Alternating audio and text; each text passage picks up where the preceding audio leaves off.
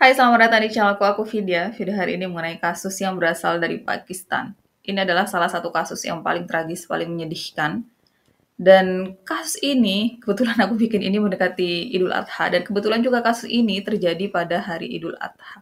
Kasus ini bermula pada kejadian 20 Juli 2021 malam di Pakistan. Pada saat itu, salah satu orang terkaya Pakistan yaitu Zakir Jafar menghubungi CEO dari fasilitas kesehatan mental bernama Therapy Works Dr. Tahir. Zakir bilang sama Dr. Tahir kalau Dr. Tahir perlu segera ke rumahnya dan membantu putranya, yaitu Zahir, yang pada tahun 2021 berusia 30 tahun. Dr. Tahir akhirnya datang ke kediaman keluarga Jafar bersama lima atau enam orang karyawannya. Dan waktu mereka sampai sana, udah banyak teman-teman Zahir yang kumpul di depan rumah keluarga Jafar bersama pengawal pribadi mereka. Dokter Tahir kemudian tanya kenapa mereka ada di sana dan mereka bilang kalau Zahir menghubungi mereka semua dan bilang kalau saat ini dirinya sendirian di rumah karena orang tuanya lagi keluar kota, kemudian perampok masuk ke rumahnya dan melakukan penyerangan ke dirinya. Jadi Zahir menghubungi teman-temannya dan meminta mereka untuk datang ke rumahnya bersama pengawal pribadi mereka untuk menolong dirinya dan mengusir perampok dari rumahnya. Sekitar 30 menit Dokter Tahir dan yang lainnya menuju di depan kediaman keluarga Jafar karena orang yang ada di dalam rumah gak mengizinkan mereka masuk. Di situlah dokter Tahir menelpon Zakir dan dia bilang kalau dirinya nggak bisa masuk karena pintu dan jendela rumah dikunci dari dalam. Zakir kemudian bilang sama dokter Tahir untuk masuk paksa aja untuk dobrak aja pintu rumahnya. Di waktu yang hampir bersamaan, salah satu karyawan dokter Tahir menemukan tangga dan dokter Tahir bersama karyawannya kemudian menaiki tangga tersebut dan mereka langsung menuju lantai dua. Waktu mereka baru masuk ke dalam kediaman keluarga Jafar, di situ mereka langsung melihat di mana-mana dan waktu mereka masih dalam keadaan untuk mencerna ada kejadian apa di dalam situ, seorang pria tiba-tiba mendekat dengan pistol dan pisau di kedua tangannya. Pria tersebut awalnya mencoba untuk menembak mereka dengan pistol di tangannya, tapi untungnya pistol yang dia pegang macet, jadi dia nggak bisa menembak mereka yang ada di sana. Dan karena nggak bisa menggunakan pistol di tangannya, pria ini kemudian melakukan penyerangan dengan pisau di tangannya. Yang karena hal ini, salah satu karyawan dokter Tahir tertusuk di bagian lehernya.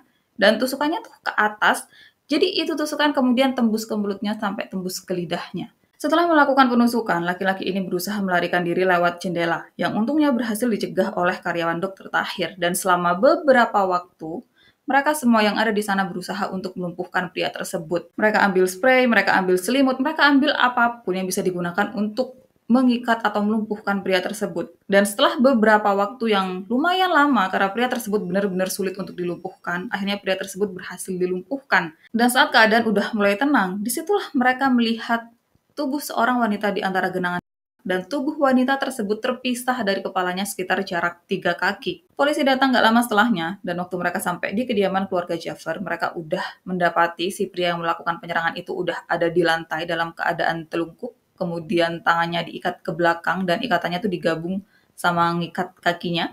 Kemudian mengenai identitas dari wanita yang udah meninggal dan ditemukan di dalam kediaman keluarga Jafar, dikonfirmasi kalau wanita tersebut adalah Nur Mukaddam, anak dari mantan dubes Pakistan. Jadi di sini kita bakalan ngebahas satu-satu mengenai Nur, mengenai kenapa dia bisa ada di rumah keluarga Jafar dan gimana sama nasibnya Zahir yang dia bilang kalau dirinya nih diserang sama perampok. Kemudian sedikit tambahan informasi, karena aku cukup lemah untuk mengingat nama seseorang dan nama Zahir, Zakir, juga Dokter Tahir di kepala aku tuh hampir sama. Jadi misal nanti kalau aku salah menyebutkan nama-nama mereka, aku harap kalian gak masalah sama sekali dan aku bakalan tulis nama yang benar di sini.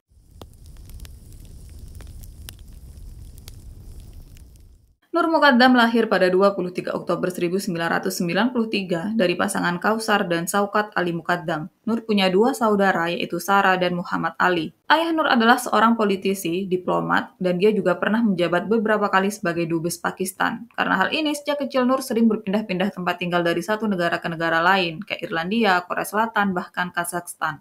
Nur dibesarkan di tengah-tengah keluarga yang hangat, harmonis, berpikiran terbuka, dan religius. Kemudian seperti yang kita tahu, ada beberapa negara yang cukup konservatif mengenai hak-hak perempuan, entah dalam hal pendidikan, pekerjaan, pergaulan, dan mereka melihat wanita sebagai objek, mereka melihat wanita sebagai sosok yang terserah mereka mau diperlakukan seperti apa. Bahkan misal pun wanita tersebut menjadi korban di rumahnya, entah oleh ayah ataupun suaminya, wanita tersebut diminta untuk sabar. Dia diminta untuk menerima seolah-olah itu adalah takdirnya nggak bisa dirubah sama sekali. Dan Nur hidup bersama orang-orang dengan latar belakang seperti itu. Tapi untungnya, untuk Nur, orang tuanya cukup berpikiran terbuka. Mereka religius, tapi mereka juga berpikiran terbuka. Mereka mengizinkan Nur untuk melakukan apa pun yang dia mau. Dia bebas untuk berteman dengan siapa pun yang dia mau, bergaul dengan siapa pun yang dia mau, Nur juga bebas untuk mengenyam pendidikan setinggi mungkin. Dan Nur menikmati semua hal itu. Dia suka fashion, jadi dia mulai mendesain pakaian. Dia juga suka melukis. Dan dia bukan cuma melukis di atas kertas atau kanvas, Nur juga bahkan terlibat dalam pembuatan mural. Kemudian secara pribadi, Nur dikenal sebagai sosok yang sangat ceria. Dia bisa membuat keadaan sekitarnya jadi hidup dan dia sangat peduli dengan isu-isu HAM yang sedang terjadi. Bahkan Nur juga sering terlibat dalam demo atau protes untuk menyuarakan mengenai ketidakadilan yang sedang terjadi. Nur juga diketahui bergabung dengan semacam badan amal dan relawan. Yang di hari ulang tahunnya, dia bakalan minta teman-temannya untuk gabung sama dirinya jadi sukarelawan. Dan kebaikan Nur bukan cuma ke sesama manusia, tapi dia juga tunjukkan ke hewan. Jadi Nur sering kasih makan dan rawat hewan-hewan liar seperti kucing juga anjing, yang entah ini memang sifat dasarnya untuk menolong siapa pun, atau karena dia ingin menjadi dokter hewan yang sampai dirinya meninggal, keinginan ini nggak pernah terwujud. Kemudian setelah menyelesaikan kuliahnya di Amerika, Nur balik ke Pakistan dan menetap di sana sampai kasus ini terjadi. Selama beberapa tahun terakhir hidupnya, Nur diketahui memiliki hubungan dengan Zahir Jafar. Awalnya mereka berteman karena orang tua mereka yang saling mengenal satu sama lain, sampai akhirnya pada tahun 2018 mereka saling tertarik dan akhirnya berpacaran.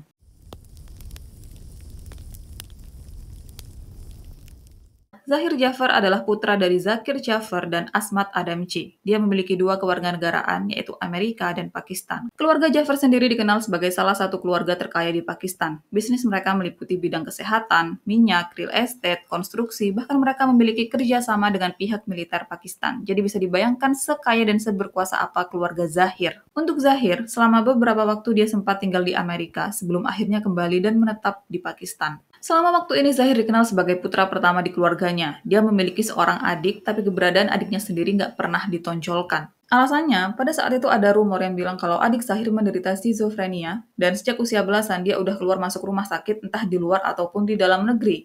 Dan meskipun udah sering keluar masuk rumah sakit untuk mengobati masalah mentalnya, tapi keadaan adik Zahir ini nggak membaik. Justru dia kemudian menderita psikosis. Dan seolah-olah semua itu belum cukup, adik Zahir juga diketahui kecanduan obat-obatan terlarang. Juga dia mulai melakukan pelecehan dan kekerasan. Kekerasan ini bukan cuma dia lakukan ke orang lain, tapi dia juga lakukan ke ibunya sendiri. Kemudian selama beberapa waktu, adiknya Zahir kan sempat tinggal di UK. Dan karena dia terus-terusan melakukan pelecehan juga kekerasan di sana, akhirnya dia dideportasi dari UK. Jadi makanya karena semua hal itu, adiknya Zahir ini kayak benar-benar ditutupi keberadaannya. Dan Zahir yang kemudian ditonjolkan, Zahir yang kemudian sering disebut sama orang tuanya, adiknya ini kayak disingkirkan, kayak dia nih bahkan nggak pernah dibicarakan atau dimunculkan di depan umum. Kemudian saat itu Zahir dikenal sebagai sosok yang sopan, pendiam, dan pemalu. Jadi dia jarang datang ke pesta, jarang menunjukkan dirinya pas ada pertemuan keluarga ataupun acara-acara besar yang keluarganya hadiri. Kayak dia benar-benar menikmati private life, cuma fokus sama kegiatan positif. Dan sebagai putra pertama sekaligus satu-satunya yang bisa diandalkan, Zahir kemudian dilatih untuk menjadi pewaris tunggal keluarganya. Dia menduduki posisi penting di perusahaan, dia mulai terlibat dalam kebijakan-kebijakan perusahaan, dan meskipun sibuk dengan semua hal itu, Zahir juga kemudian mulai belajar psikologi sampai akhirnya dia menjadi konselor dan membuka sesi konseling. Zahir menyatakan kalau dirinya ingin membantu orang-orang yang mengalami masalah mental dan ingin masyarakat sadar mengenai pentingnya kesehatan mental. Kemudian saat itu, tempat yang menaungi kegiatan Zahir dalam hal-hal terkait masalah mental adalah Therapy Works. Dan bersama Therapy Works, Zahir mendatangi sekolah-sekolah dan mengedukasi para siswa mengenai pentingnya kesehatan mental. Dia juga bahkan melakukan sesi konseling terhadap siswa-siswa tersebut. Jadi pada saat itu Zahir benar-benar menunjukkan sosoknya yang sangat bertanggung jawab, sangat bisa diandalkan, dan meskipun sibuk dengan semua hal itu, ngurusin perusahaan, terus masih kasih konseling juga, Zahir juga diketahui selalu menyempatkan waktu untuk kumpul sama keluarganya. Kayak benar-benar pada saat itu, Zahir ditonjolkan dan ditampakkan sebagai sosok yang sangat sempurna. Kemudian waktu Zahir ada di pertengahan usia 20-an, di situ orang tuanya merasa kalau ini udah waktunya untuk Zahir menikah dan memiliki keturunan. Di situlah mereka mulai sering mengadakan pesta di rumahnya yang mungkin sebelumnya cuma bisa sesekali dalam beberapa bulan. Pada saat mereka memutuskan kalau Zahir udah harus menikah, mereka mulai mengadakan pesta di rumah mereka tiap akhir pekan. Dan tiap ada acara apa pun yang mereka datangi, mereka di situ selalu ngomongin tentang Zahir. Mereka kayak selalu berusaha untuk mengenalkan Zahir dengan anak dari rekan-rekan bisnis mereka. Mereka juga kayak selalu ngeliat mana nih cewek-cewek yang cocok untuk dijadikan mantu mereka.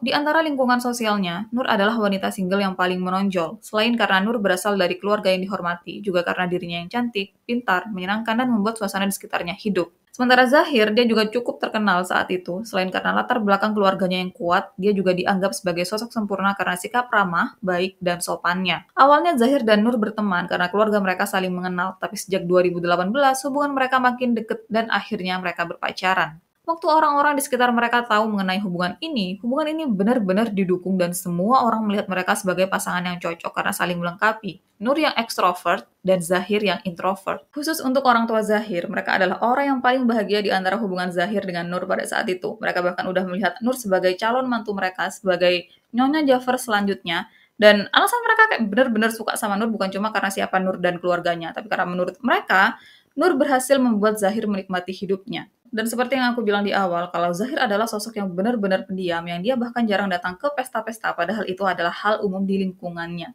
Dan setelah Zahir berhubungan dengan Nur, dia mulai menikmati semua itu. Dia mulai sering keluar, dia mulai sering jalan bareng sama teman-temannya, dia mulai menikmati hidupnya, dia bahkan datang ke pesta yang diadakan sama teman-teman mereka. Bahkan di salah satu pesta yang teman mereka adakan, terlihat kalau Zahir nari bareng sama Nur, yang menurut siapa pun yang mengenal Zahir sebelum dia berpacaran dengan Nur, itu adalah hal yang sangat mustahil. Bahkan waktu orang tua Zahir melihat hal itu, mereka benar-benar senang di situ sekaligus kaget, karena mereka nggak pernah membayangkan kalau Zahir bisa melakukan hal itu, Zahir bakalan ada di tengah-tengah orang dan kemudian nari kayak dia nih kayak bener-bener menikmati hidupnya. Makanya karena semua hal itu, orang tua Zahir benar-benar suka dengan hubungan di antara Zahir dengan Nur dan mereka benar-benar sayang sama Nur pada saat itu. Sayangnya hubungan mereka hanya bertahan selama tiga tahun karena pada awal tahun 2021 mereka berdua memutuskan untuk berpisah. Yang setelahnya mereka nggak pernah ada hubungan apa pun, mereka nggak pernah berkomunikasi sama sekali. Sampai akhirnya enam bulan kemudian pada 18 Juli 2021 malam, Zahir tiba-tiba menelpon Nur. Waktu Zahir telepon Nur, saat itu Nur ada di rumahnya dan dia lagi sibuk untuk persiapin acara Idul Adha yang jatuh pada 20 Juli. Kemudian waktu Nur angkat teleponnya Zahir, di situ Zahir bilang kalau dirinya bakalan pergi ke New York besok pagi dan dirinya nggak tahu kapan bisa kembali ke Pakistan ataupun ketemu lagi sama Nur. Kemudian sebelumnya kan mereka udah pernah pacaran selama tiga tahun dan tiga tahun itu bukan waktu yang sebentar. Mereka cukup untuk saling berbagi kisah di situ. Mereka kayak udah terhubung dengan cukup kuat pada saat itu dan dengan Zahir yang entah kapan mereka bisa bertemu lagi. Di situ mereka berdua kemudian sepakat untuk ketemu pada malam itu dengan pemikiran kalau mungkin ini adalah terakhir kalinya mereka bisa bertemu. Nur kemudian meninggalkan rumah di jam 9 lewat 5 menit malam dan dia bilang sama orang tuanya kalau dia mau pergi ketemu sama teman-temannya yang sejak kepergiannya ini nggak ada satupun dari orang rumahnya ataupun teman-temannya yang bisa menghubungi Nur kecuali pada 20 Juli siang di mana Nur sempat mengirimkan voice note. Kemudian pada 20 Juli 2021 malam, menjelang waktu orang tuanya Nur mengetahui tentang apa yang terjadi sama Nur, waktu itu ibunya Nur lagi baca Quran dan dia tiba-tiba dengar suara suaminya yang nangis histeris. Ibunya Nur kemudian mendekat ke ruangan tempat suaminya berada dan di sana dia udah ngeliat keadaan suaminya benar-benar nangis sambil memanggil namanya Nur yang itu bukan sesuatu hal yang biasa karena Suaminya adalah seorang politisi, dia adalah seorang diplomat, dia udah terbiasa untuk selalu berada di bawah tekanan dan dengan keadaan seperti apa pun, dia selalu bisa mengontrol dirinya, dia selalu tenang, dapat masalah apa pun dia selalu baik-baik aja.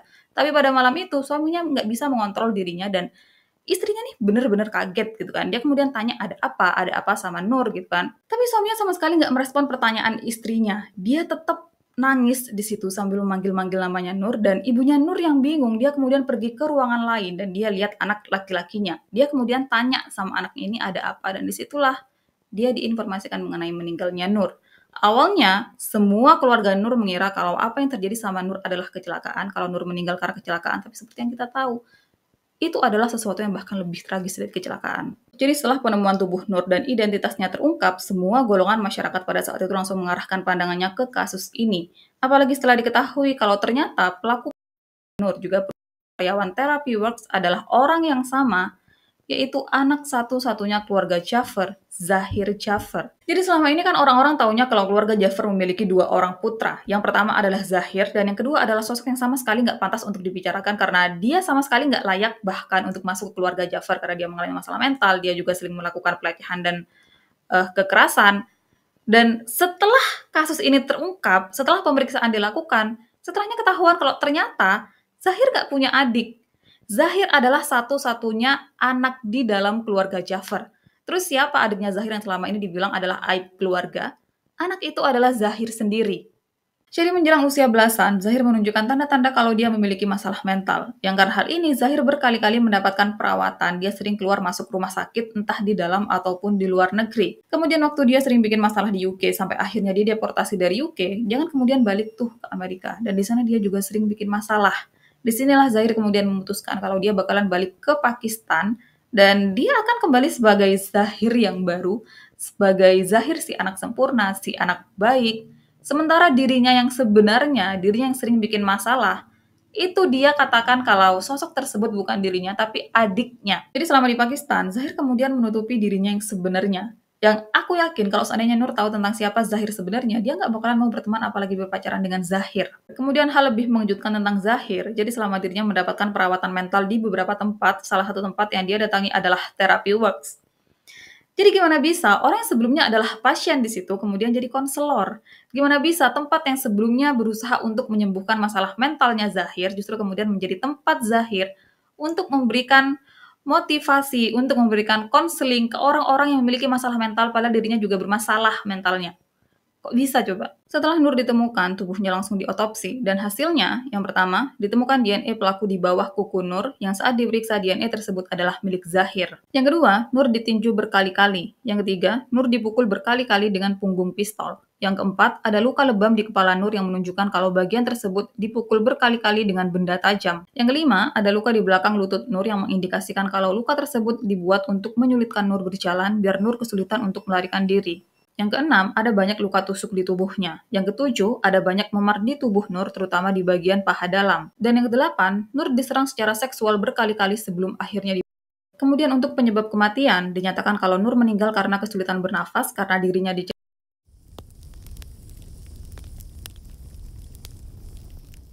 Dipercaya kalau kasus ini bermula saat Zahir memesan tiket sekali jalan ke New York melalui sebuah agen perjalanan pada 7 Juli 2021 dan keberangkatan Zahir ke New York dijadwalkan pada 19 Juli 2021 jam 3 lewat 50 menit pagi. Kemudian pada 18 Juli malam, Nur sama Zahir kan janjian untuk ketemu dan Nur keluar dari rumahnya di jam 9 lewat 5 menit malam. Di tengah perjalanan, Nur kemudian telepon Zahir dan tanya mereka nih mau ketemuan di mana. Zahir kemudian bilang sama Nur, kamu datang ke rumahku aja karena aku masih packing di sini. Nanti kamu pulangnya aku antar sekalian aku pergi ke bandara. Dan pada saat itu Nur langsung menuju rumahnya Zahir. Kenapa bisa semudah itu? Ya, karena emang apa masalahnya pada saat itu, itu yang Nur pikirkan. Karena sebelumnya mereka udah pacaran selama tiga tahun. Kemudian yang Nur tahu, meskipun orang tua Zahir nggak ada di rumah, tapi Zahir nggak pernah benar-benar sendiri. Ada beberapa pekerja rumahnya di sana. Kemudian rumah keluarga Jafar juga dilengkapi CCTV. Jadi kayaknya nggak bakalan ada masalah apa pun dengan dirinya yang datang ke rumah Zahir. Dan kalaupun ada sesuatu, dirinya berpikir kalau dirinya pasti akan dibantu karena Zahir nggak sendirian di rumah. Ada beberapa orang di sana. Jam 10 lewat 19 menit malam, Nur sampai rumahnya Zahir, dan gak lama setelah kedatangan Nur, Zahir berkali-kali menelpon agen perjalanannya. Dia tanya dari, ini bisa nggak sih kalau penerbanganku tuh di cancel? Bisa nggak sih kalau diganti di lain hari? Bisa nggak sih kalau dimundurin jadwalnya? Dan di situ agen perjalanan kemudian menjelaskan sama Zahir kalau seandainya Zahir melakukan salah satu dari yang dia tanyakan, dia bakal kena charge sekian sekian sekian. Dan karena itu Zahir kemudian bilang sama agen perjalanannya, ya udahlah, oke lah balik ke jadwal semula. Sekitar jam 11 malam, taksi yang udah dibuking untuk antar Zahir ke bandara datang. Jadi waktu Zahir memesan tiket pesawat ke agen perjalanan itu udah termasuk antar jemput dengan menggunakan taksi. Kemudian waktu taksi tersebut udah sampai, si sopir telepon Zahir dan bilang kalau dirinya udah ada di depan. Zahir kemudian bilang sama sopir taksi itu untuk bisa nggak kalau nunggu sebentar aja, aku masih belum selesai packingnya. Dan si sopir taksi bilang, oke. Okay. 36 menit kemudian, Zahir telepon sopir taksi itu dengan bilang, kalau bisa nggak kalau kamu nunggu sedikit lebih lama karena aku masih belum selesai packingnya. Dan lagi-lagi sopir taksi itu bilang, oke okay, nggak masalah. Di jam 12 lewat 7 menit malam, Zahir kemudian telepon sopir taksi itu dengan bilang kalau aku kayaknya nggak jadi deh yang ke bandara, aku nggak jadi yang ke New York. Kemudian karena udah buat si sopir taksi menunggu, Zahir kasih sejumlah besar uang ke sopir taksi tersebut sebagai permintaan maaf. Dan sopir taksi itu kemudian bilang, ini uangnya aku ambil, tapi entar kalau kamu misalkan berubah pikiran atau kamu pergi ke bandara, kamu hubungin aja aku, karena aku pasti bakalan antar kamu. Yang setelahnya si sopir taksi pergi. Kemudian sekitar waktu ini, orang tuanya Nur berkali-kali mencoba menghubungi Nur, tapi nggak ada satupun dari usaha mereka untuk menghubungi Nur yang direspon. Yang kemungkinan besarnya pada saat itu HP-nya Nur dipegang Zahir. Setelahnya, sekitar jam 1 lewat 40 menit, Zahir menghubungi si sopir taksi. Dan di situ dia bilang, ini kayaknya aku jadi deh yang pergi ke bandara kamu bisa nggak kalau balik ke rumahku dan anterin aku ke bandara? Dan si sopir taksi bilang, oke. Okay. Sopir taksi tersebut kemudian sampai di rumah Zahir jam 2 lewat 15 menit dini hari dan dia kemudian melihat kalau Zahir keluar sama barang-barangnya juga sama seorang wanita yang nggak pakai alas kaki dan wanita tersebut adalah Nur. Sopir taksi itu ngerasa ada yang aneh karena seburu-burunya seseorang, kenapa bisa-bisanya nggak pakai alas kaki gitu kan? Tapi sopir taksi itu nggak melakukan apa pun, dia juga nggak bertanya apa pun ke Nur, dia cuma bantuin Zahir untuk bawa masuk barang-barangnya ke bagasi, terus setelahnya mereka menuju bandara. Kemudian selama perjalanan ke bandara, sopir taksi itu ngeliat kalau Zahir ngajak ngobrol Nur sepanjang perjalanan, tapi Nur sama sekali nggak merespon. Dan waktu mereka udah setengah jalan, Zahir kemudian bilang sama sopir taksi itu untuk putar balik aja, karena udah terlalu telat kalau kita berangkat sekarang. Dan tanpa bertanya apa pun, si sopir sopir taksi tersebut langsung putar balik menuju rumahnya Zahir. Mereka sampai di kediaman Zahir jam 2 lewat 30 menit dini hari. Dan waktu mereka udah turun dari taksi, di situ si sopir taksi ngeliat kalau Zahir narik tangannya Nur untuk segera masuk ke dalam rumah. Dan lagi-lagi meskipun di situ dia ngerasa kalau ada sesuatu yang aneh, ada sesuatu yang nggak beres, tapi dia sama sekali nggak melakukan apa pun. Dia bukan cuma nggak nelpon polisi pada saat itu, tapi dia juga bahkan nggak pernah tanya sama Nur apakah keadaan Nur baik-baik aja. Kemudian pada 19 Juli 2021 jam 9 pagi, Nur menghubungi sopirnya yaitu Khalil. Di situ Nur tanya sama Khalil, bisa nggak kalau kamu bawain aku 7 lak rupi, dan ini rupi Pakistan ya. 7 lak tuh sekitar 47 juta, 40 juta 752 sekian. Kemudian di situ, Khalil bilang kalau dirinya nggak punya uang sebanyak 7 lak. Adapun itu cuma 3 lak. Dan di situ Nur bilang, ya udah deh nggak apa-apa 3 lak aja bawa ke rumahnya Zahir. Dan di situ Nur juga berpesan sama Khalil untuk jangan pernah bilang orang tuanya kalau dirinya ada di rumah Zahir. Bilang sama orang tuanya, kalau misal orang tuanya tanya, bilang kalau dirinya ada di Lahore sama teman-temannya. Dan tiga lak tuh sekitar 17 juta untuk kurs saat ini. Kemudian sekitar jam 3 sore, Khalil sampai di rumahnya Zahir dan dia telepon Nur bilang kalau dirinya udah ada di rumah Zahir dengan uang sebanyak 3 lak. Dan di situ Nur bilang kalau dirinya nggak bisa keluar, jadi salah satu pekerja rumah Zahir yang bakalan keluar untuk ambil uang tersebut. Akhirnya salah satu pekerja rumah Zahir keluar dan Khalil menyerahkan uang tersebut. Yang pada saat itu Nur bilang kalau dirinya bakalan mengganti uang tersebut malam harinya. 8 jam kemudian di jam 12 malam, orang tuanya Nur mulai menghubungi Nur secara gila-gilaan. Mereka benar-benar telepon Nur nggak berhenti-berhenti, kirim chat ke Nur nggak berhenti-berhenti. Dan karena masih tetap nggak ada respon, di situ mereka mulai menghubungi semua teman-temannya Nur dan tanya Nur ada di mana, apa sama kalian. Dan waktu teman-teman Nur bilang kalau Nur nggak sama mereka, orang tuanya Nur kemudian meminta mereka untuk tolong bantu hubungi Nur karena dia nggak bisa dihubungi sejak 18 Juli malam. Sementara orang-orang di rumah Nur panik karena mereka nggak bisa menghubungi Nur, di kediaman keluarga Jafar, para pekerja rumahnya ngedengar suara Nur sama Zahir yang bertengkar hebat, mereka saling teriak, mereka saling beradu argumen. Tapi meskipun udah denger pertengkaran yang seperti itu, nggak ada satupun dari pekerja rumah Zahir yang kemudian melakukan sesuatu. Kemudian pada 20 Juli di jam 10 lewat 43 menit siang, Nur kirim VN ke ibunya.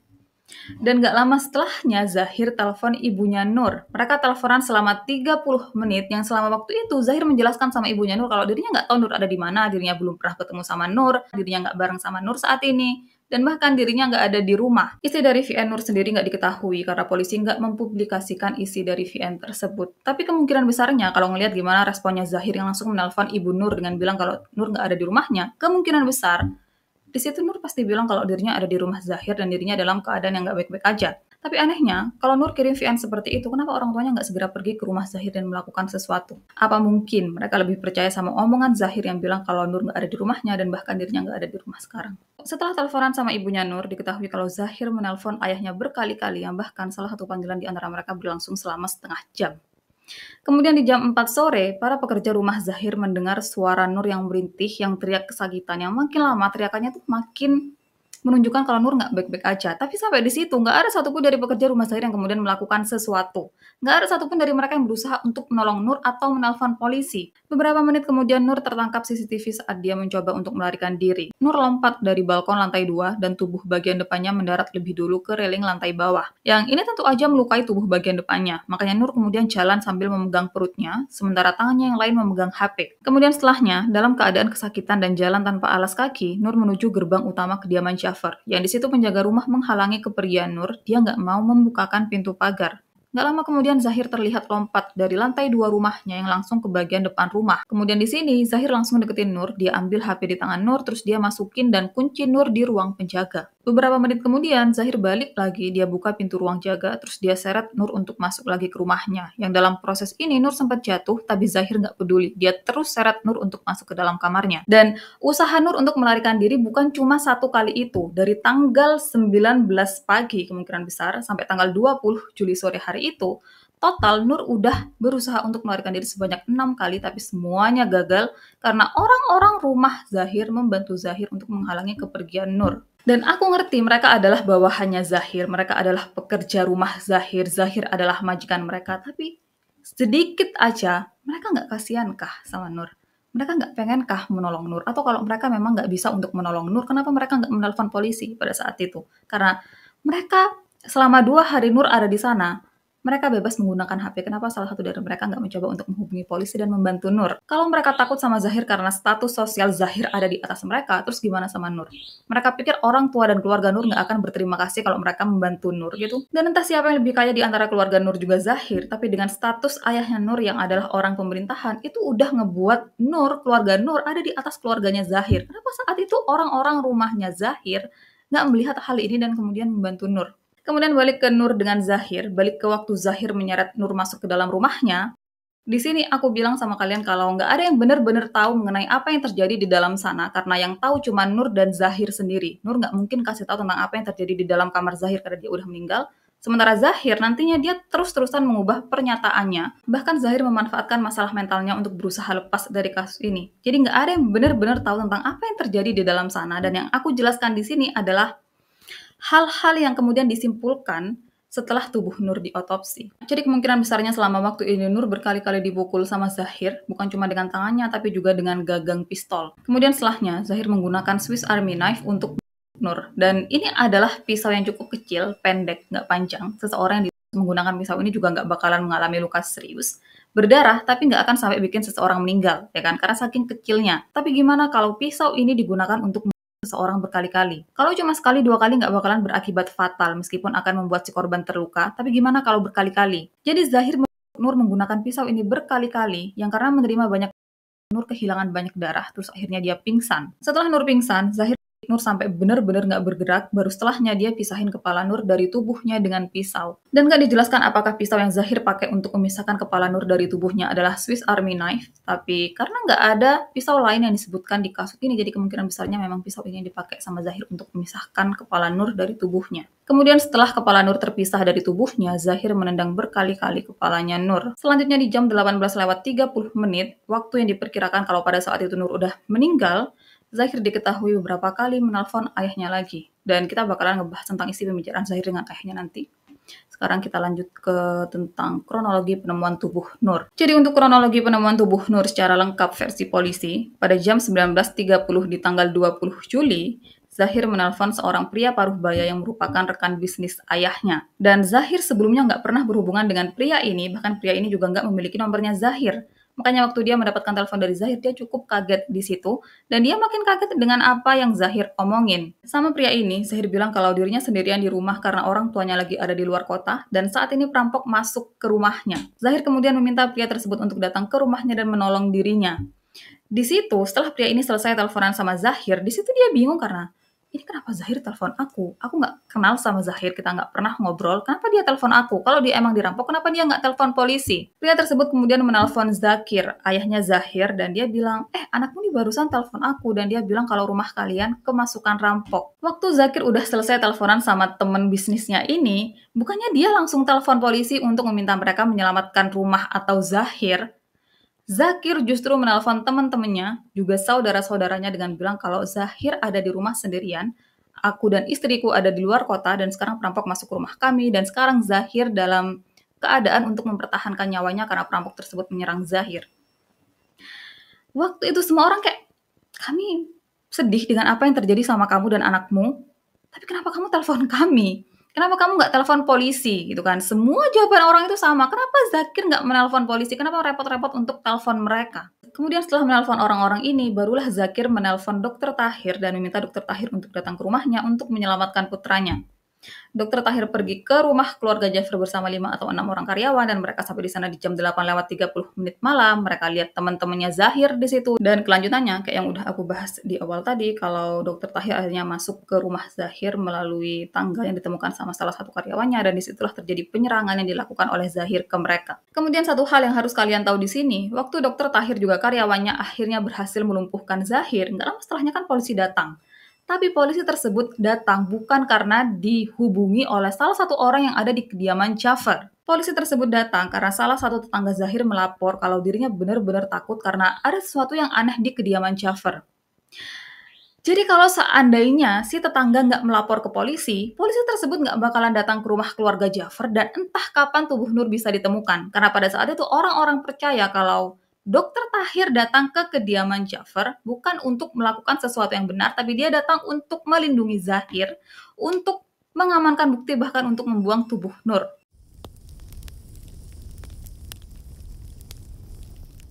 Waktu Zahir ditangkap dan dibawa ke kantor polisi, orang-orang yang ada di rumahnya juga dibawa untuk diperiksa. Dan empat hari setelah penangkapan Zahir, orang tuanya juga dibawa ke kantor polisi untuk diperiksa. Kemudian awalnya kan orang-orang pikir kalau dokter Tahir nggak tahu apa pun mengenai kasus ini. Dan orang tua Zahir juga nggak tahu apa pun karena mereka saat itu ada di luar kota. Tapi setelah ketahuan kalau selama waktu Nur disekap bahkan pada hari kematiannya, Zahir berkali-kali teleponan sama orang tuanya, termasuk pada waktu setelah kematian Nur. Di sini orang-orang mulai curiga sama orang tua Zahir kalau mereka pasti tahu sesuatu mengenai Nur mengenai Nur yang ada di dalam rumah mereka dan dokter Tahir pasti datang dengan maksud tertentu. Dan waktu dilakukan pemeriksaan lebih dalam, ternyata banyak hal yang menunjukkan kalau orang tua Zahir, terutama ayahnya, tahu mengenai ada kejadian apa di dalam rumah.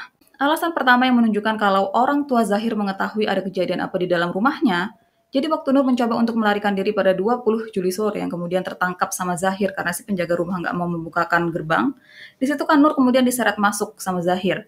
Dan waktu Zahir melakukan hal ini, si penjaga rumah menelpon Zakir. Di situ si penjaga rumah kemudian bilang sama Zakir kalau Tuan, ini anakmu melakukan sesuatu yang kasar. Dan respon Zakir adalah, iya kami akan melakukan sesuatu. Dan kan diketahui jawaban Zakir dengan bilang kalau dirinya akan melakukan sesuatu entah itu untuk menolong Nur atau untuk menolong putranya. Alasan kedua, waktu Zahir telepon banyak orang dengan bilang kalau dirinya sendirian di rumah dan rampok masuk ke rumahnya, di tempat lain Zahir kan juga melakukan hal yang sama. Dia menelpon banyak orang dengan bilang kalau Zahir sendirian di rumah dan rampok masuk ke dalam rumahnya. Dan hal ini kemudian dipercaya sama orang-orang kalau pada saat itu Zakir dan Zahir mereka membuat plot yang seolah-olah ada perampok masuk ke rumah mereka, dan nantinya kalau ada seseorang yang menemukan tubuh Nur, mereka akan menyalahkan si perampok yang nggak pernah ada. Mereka akan menggunakan alasan perampok tersebut untuk melepaskan Zahir dari tuduhan kalau Zahirlah si Alasan yang ketiga, waktu Zakir menelpon banyak orang dengan bilang kalau Zahir ada di rumah sendirian dan perampok menyerang rumahnya, di situ kan semua orang pikir kalau itu adalah satu-satunya kalimat yang Zakir ucapkan ke orang-orang yang dia telepon.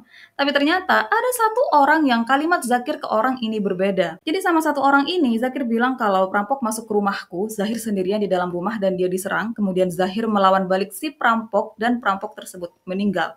Dan Zakir juga kemudian tanya gimana caranya menyingkirkan mayat. Jadi pada saat itu, pada saat Zakir menelpon banyak orang, di situ dia tahu kalau ada orang meninggal di dalam rumahnya. Kemudian alasan keempat adalah alasan yang menunjukkan kalau Zakir mengetahui Nur meninggal di dalam rumahnya dan Zahir yang Nur. Jadi di jam 18 lewat 30 menit sore, Zahir menelpon ayahnya dan dia bilang kalau Nur udah meninggal karena dibunuh sama dirinya. Dan tahu kalian respon ayahnya Zahir? Dia bilang kalau kamu gak perlu khawatir, semuanya akan diselesaikan. Aku bakalan kirim seseorang untuk selamatin kamu dan buang mayatnya. Dan pada saat itu orang-orang percaya kalau orang yang dikirim sama ayahnya Zahir untuk menolong Zahir adalah Dokter Tahir. Kemudian untuk Dokter Tahir, alasan yang menunjukkan kalau dia tahu mengenai sesuatu di dalam rumah dan dia pergi ke sana dengan maksud tertentu. Jadi selama waktu itu, awalnya orang-orang pikirkan uh, Zakir menghubungi dokter Tahir dengan bilang untuk segera ke rumahnya dan membantu Zahir. Awalnya itu yang orang-orang pikirkan. Tapi setelah dilakukan pemeriksaan, ternyata omongannya Zakir bukan seperti itu ke dokter Tahir.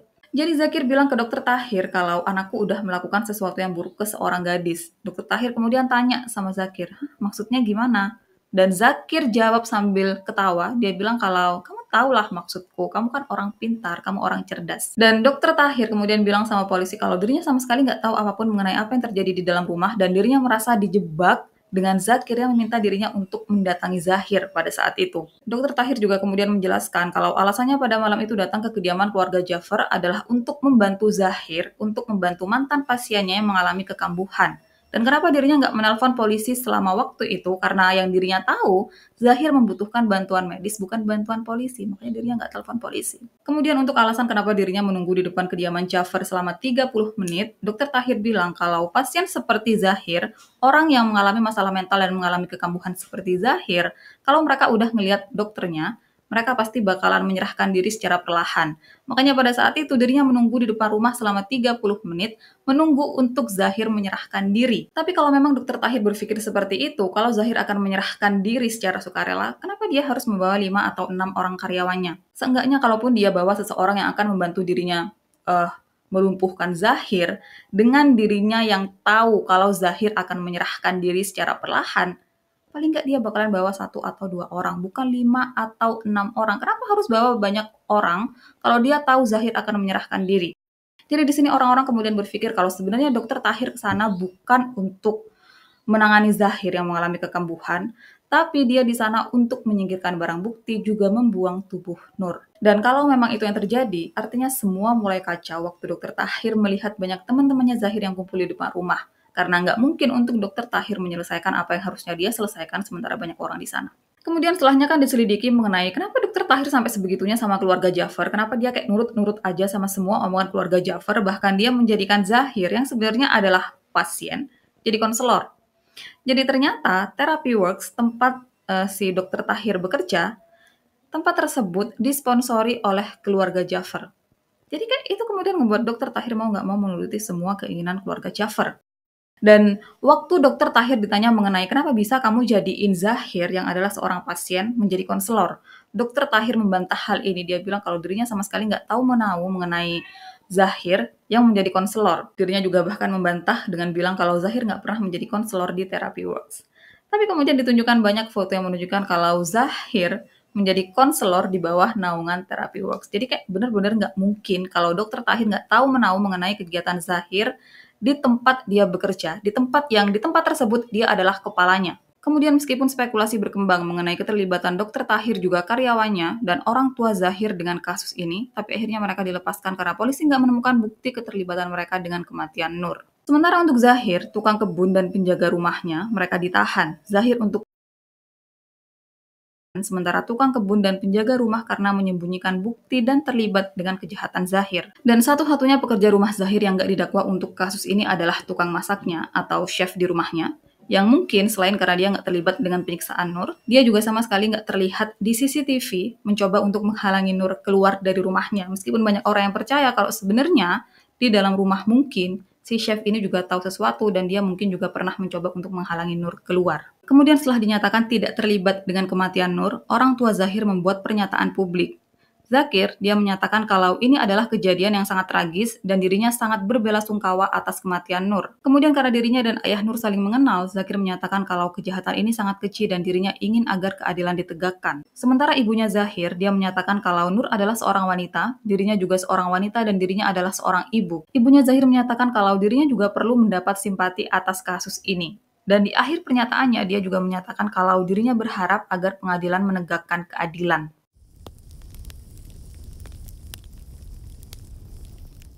Selama awal penangkapannya, Zahir merasa kalau dia kebal hukum, jadi dia berkoar-koar kalau polisi nggak bakalan bisa bawa dirinya ke pengadilan apalagi penjarain dirinya, karena dirinya orang kaya dan berkeluarga negaraan Amerika. Setelahnya kedubes Amerika di Pakistan menyatakan kalau mereka nggak akan melibatkan diri dengan proses hukum warga negara mereka yang melakukan kesalahan di negara lain. Mereka akan menghormati dan mengikuti semua proses hukum yang berjalan di negara tempat warga mereka melakukan pelanggaran. Justru mereka akan menghormati dan mengikuti semua proses hukum yang berjalan di negara tempat warga mereka melakukan pelanggaran. Kemudian dari sini, pernyataan Zahir mengenai alasan kenapa dia melakukan hal itu ke Nur mulai berubah-ubah. Alasan pertama yang Zahir katakan waktu dia ditanya kenapa dia Nur, jadi Zahir bilang kalau dia mengkurbankan Nur seperti Nabi Ibrahim yang mengkurbankan Nabi Ismail karena perintah Allah. Zahir bilang kalau pada 18 Juli malam Nur mendatangi rumahnya dan meminta dikurbankan karena dia merasa dirinya berdosa selama ini, udah pacaran sama Zahir selama itu tanpa niatan untuk menikah dan satu-satunya cara untuk melebur dosa-dosanya adalah mengkurbankan dirinya sendiri pada hari raya Idul Adha. Dan omongan Zahir ini langsung terbantahkan dengan bukti CCTV yang menunjukkan kalau Nur berkali-kali mencoba untuk melarikan diri dari Zahir. Kalau Nur memang datang untuk dikurbankan, kalau dia memang ingin mempersembahkan dirinya ke Tuhan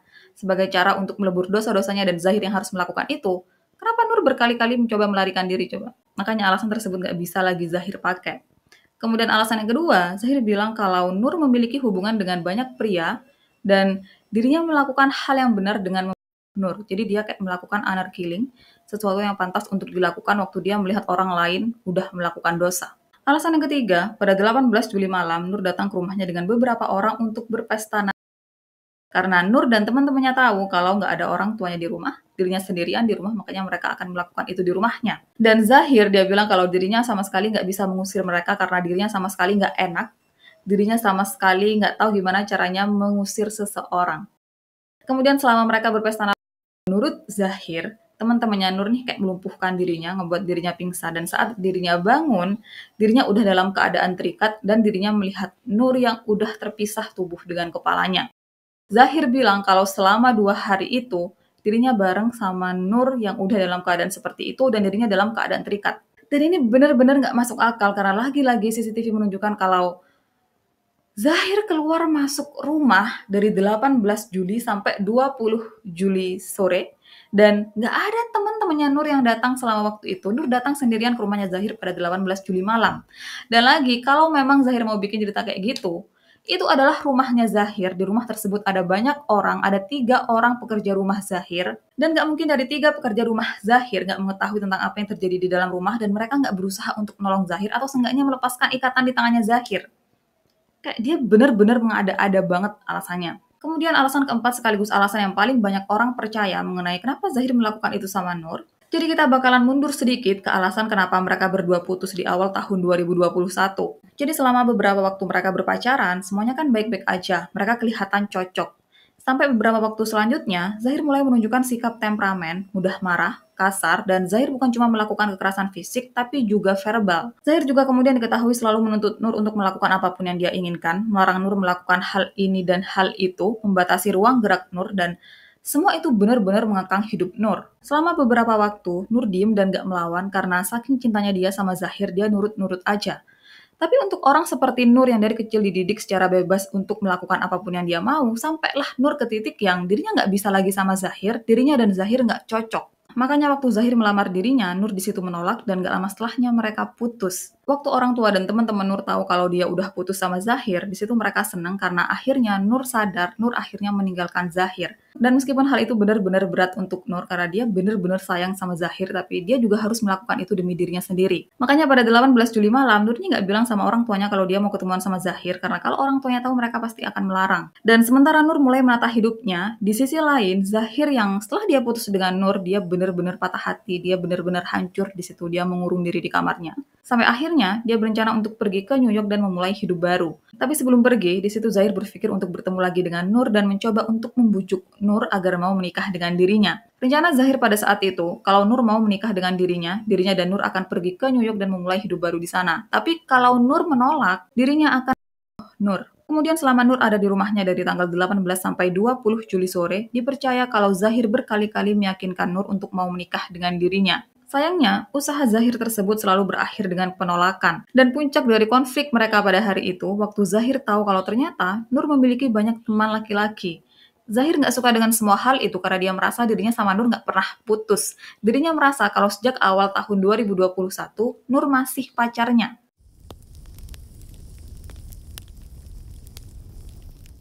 Selama kasus ini berjalan, banyak orang yang kemudian tertarik dan mengikuti kasus ini. Yang sayangnya, sebagian dari mereka justru ada di pihak Zahir, atau kalaupun enggak, mereka akan menyalahkan Nur dan keluarganya atas insiden ini. Jadi banyak orang yang kemudian berkomentar mengenai seandainya Nur nggak pergi ke rumah Zahir, dia nggak akan meninggal. Kemudian beberapa orang juga menyalahkan Nur yang berhubungan selama itu dengan seorang pria tanpa tujuan menikah. Mereka juga bahkan menyalahkan pola asuh keluarga Nur yang membebaskan dia melakukan apa pun yang dia mau, menyalahkan keluarganya karena nggak mendidik Nur untuk menjadi muslim yang baik, mengkritik keluarga Nur yang biarin Nur keluar padahal udah malam. Bahkan seorang reporter menyatakan kalau kejadian ini terjadi karena Nur nggak mau Zahir meninggalkan Pakistan, dan di situlah mereka mulai ribut karena Zahir mau pergi sementara Nur menahan Zahir.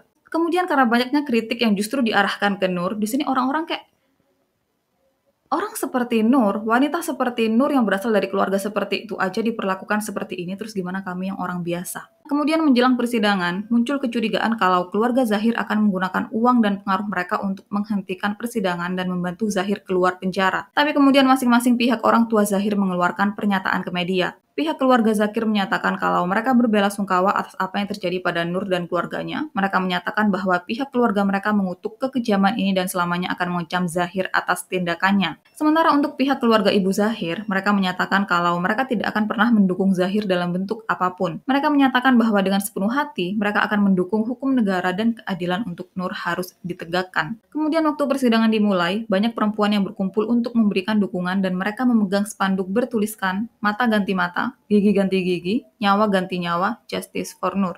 Untuk ayah Nur, sebelum persidangan dia menyatakan kalau aku mengabdi pada negara ini dan sekarang aku menginginkan keadilan dari pemerintah negeri ini. Untuk Zahir, dia banyak melakukan sesuatu yang buat orang-orang cuma bisa geleng-geleng kepala sama tindakannya. Jadi satu waktu, Zahir dikerubungi wartawan dan dia ditanya kenapa dia melakukan hal itu ke Nur. Jawaban Zahir, karena aku marah terus aku dia pakai pisau. Di lain waktu, dia bakalan bilang kalau aku yang lakuin, aku pelakunya, aku yang Nur. Kayak dia tuh bener-bener enteng banget ngomongin semua hal itu. Bahkan waktu persidangan dimulai, Zahir lagi-lagi banyak berulah. Jadi satu waktu, Zahir datang dalam keadaan yang dia nih kayak udah nggak mandi berhari-hari, bener-bener kotor dan nggak terawat. Dan pihak Zahir kemudian menyatakan kalau Zahir menderita masalah mental, jadi dia nggak layak untuk diadili karena aksinya dilatar belakangi masalah mental. Seorang dokter kemudian dipanggil untuk memeriksa Zahir, dan hasilnya, Zahir dinyatakan layak untuk diadili karena saat melakukan kejahatan, dia dalam keadaan sadar. Dan setelah pernyataan ini keluar, Zahir yang sebelumnya bertindak kayak orang gila, kayak orang sakit, dia tiba-tiba kayak langsung seger, kayak langsung waras, dan di situ dia kayak seolah-olah, ya udahlah actingku nggak berguna ini, jadi ngapain diterusin. Kemudian di persidangan lain, Zahir juga memotong kata-kata orang yang lagi bicara. Dia bilang, ini hakku untuk ngomong, orang lain bisa ngomong kenapa aku enggak. Zahir juga kemudian bilang kalau dirinya dijebak, kalau kasus ini dibuat sama ayahnya Nur yang bekerja sama dengan polisi untuk memeras uang keluarganya. Dia juga kemudian maki-maki hakim di situ, dan karena tingkahnya yang makin gak kekontrol, dia akhirnya dikeluarkan paksa dari ruang sidang, yang bahkan dia sampai digotong sama polisi-polisi di sana. Bisa dibayangin nggak? Salah satu orang yang punya masa depan paling cerah di Pakistan, salah satu orang yang bakalan memegang titik perekonomian penting di Pakistan, justru kemudian digotong kayak gelandangan. Selanjutnya di persidangan lain, Zahir nangis histeris dan dia minta maaf sama keluarga Nur, meminta mereka untuk memberikan dirinya belas kasih. Tapi di situ dia juga bilang, kalau mereka mau dirinya dihukum mati, ya udah, dirinya akan menerima takdirnya. Kemudian di depan hakim, Zahir bilang kalau kami berdua marah dan terlibat pertengkaran, terus hal itu terjadi. Sekarang terserah kalian mau maafin atau hukum aku. Masih di persidangan lain, entah gimana Zahir berdiri di depan ayahnya Nur dan bilang kalau dirinya memisahkan kepala Nur dari tubuhnya karena Nur memohon ke dirinya untuk dikurbankan. Dengar ini ayahnya Nur langsung berdiri di depan Zahir dengan sikap bermartabat dan dia kemudian ngeliat kedua mata Zahir dan bilang dengan penuh ketegasan, kamu bohong. Kemudian pada 24 Februari 2022, Zahir diputus bersalah dan dijatuhi hukuman mati untuk dan 25 tahun penjara atas Sementara staf rumah tangganya yaitu Muhammad Iftikar, dia adalah penjaga rumah, dan Muhammad Chan, si tukang kebun, masing-masing dari mereka dijatuhi hukuman 10 tahun penjara karena dianggap bersekongkol atas kematian Nur. 12 Maret 2022, ayah Nur mengajukan banding untuk menambah hukuman Zahir, Iftikar, dan Chan juga menentang pembebasan orang tua Zahir, dokter Tahir, dan tukang masak rumah Zahir, juga karyawan Therapy Works. Karena menurut keluarga Nur, mereka semua tahu tentang apa yang terjadi di dalam sana dan gak berusaha untuk menolong Nur, mereka justru berusaha untuk menutupi semua itu. Sementara Zahir dan dua pekerja rumah tangganya, mereka juga kemudian mengajukan banding secara terpisah untuk mengurangi masa hukuman mereka. 13 Maret 2023, sidang banding Zahir selesai, dan hasilnya, hukuman untuk Zahir justru diperkuat. Dia yang sebelumnya hanya dihukum selama 25 tahun penjara atas ditingkatkan menjadi hukuman penjara seumur hidup. Jadi untuk kasus dia tetap dihukum mati dan untuk kasus dia dihukum penjara seumur hidup. Sementara untuk dua pekerja rumahnya Zahir, Hukuman untuk mereka juga diperkuat, tapi aku nggak tahu apakah ditambah atau gimana, aku nggak tahu karena nggak ada informasi untuk hal ini. Dan pada 12 April 2023, lagi-lagi Zahir mengajukan banding dengan 23 alasan dan sampai sekarang banding Zahir masih berlangsung. Jadi ini adalah kisah mengenai Nur dengan Zahir, dengan Zahir yang dia benar-benar bermasalah dari awal. Dia kenapa orang tua Zahir sekejam itu sama Nur? Maksudnya mereka tahu anak mereka seperti itu. Mereka tahu anak mereka bermasalah. Kenapa mereka membiarkan anak mereka berhubungan dengan seorang anak dari keluarga baik-baik? Kenapa mereka membiarkan anak mereka memiliki hubungan dengan orang lain dengan tujuan menikah? Padahal mereka tahu anak mereka bermasalah sampai separah itu. Dan menurut kalian, hukuman untuk Zahir juga dua pekerja rumahnya, apakah itu udah cocok, udah setimpal? Mungkin untuk Zahir iya, tapi untuk dua pekerja rumahnya, kayaknya kurang deh. Dan menurut kalian, apakah orang tuanya Zahir, kemudian dokter Tahir dan karyawannya, apakah menurut kalian mereka ber, mereka bukan mereka bertiga, mereka semua tahu tentang apa yang terjadi di dalam rumah? Apakah menurut kalian mereka juga harusnya diadili? Kalau menurutku sih iya. Karena dengan semua hal yang ada menunjukkan kalau mereka tahu tentang apa yang terjadi di dalam sana dan mereka berusaha untuk menutupi semua itu.